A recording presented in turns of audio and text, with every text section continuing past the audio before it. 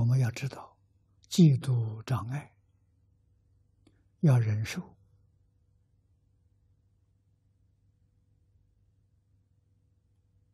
不可以有怨恨。这个地方正是修忍辱波罗蜜的机缘啊！把握这个机会修忍辱波罗蜜。《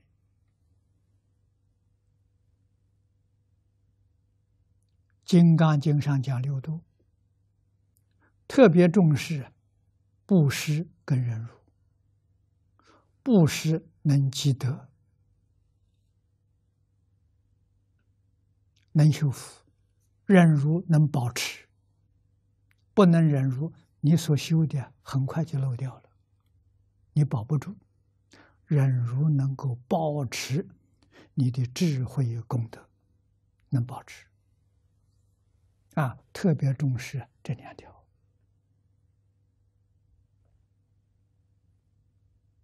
啊，我们看到经上所说的“忍辱仙人”，释迦牟尼佛的前身，没成佛之前，修忍辱波罗蜜，遇到割礼王给解身体，这个可以说是奇耻大辱。没有人能忍忍受的，他能忍。啊，最后死的时候，告诉格里王：“我将来成佛，第一个度你。”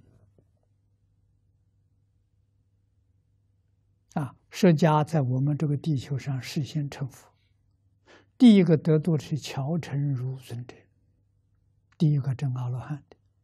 乔成儒的前身是格里王，佛说话算话。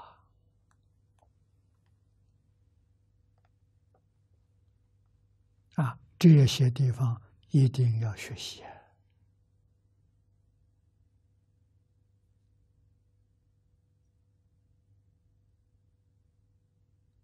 啊，一定要学忍辱波罗蜜。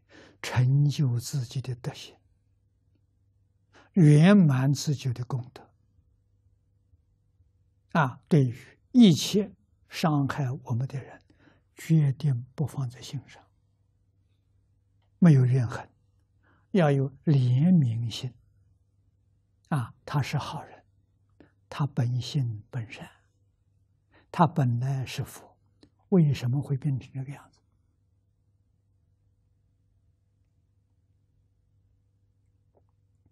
啊，是他没有接受过圣贤教育，或者虽然中年接接受圣贤教育，他没有根底。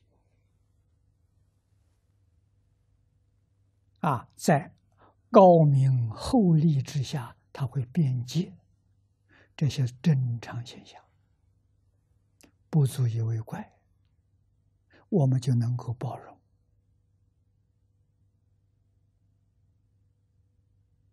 啊，就不会有怨恨的念头升起来。